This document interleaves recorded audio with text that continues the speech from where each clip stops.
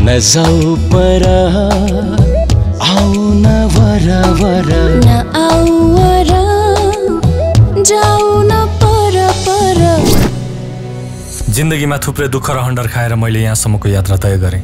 तर मलाई थाहा थिएन आफ्नो गन्तव्य कहाँ हो भनेर। तिम्रो सुकुम्बासी बस्तीदेखि प्रधानमन्त्री निवाससम्मको यात्रा सुरु हुन्छ। माफ गर्नुहोला नेताज्यू मलाई राम्रोसँग थाहा छ राजनीतिमा कसैको पनि विश्वास हुँदैन।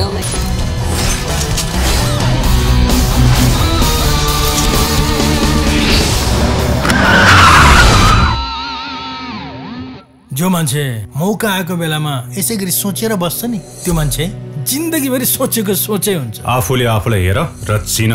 तपाईँ बाहिरबाट जस्तो देखिनुहुन्छ नि तर भित्रबाट भने दयालु हुनुहुँदो रहेछ।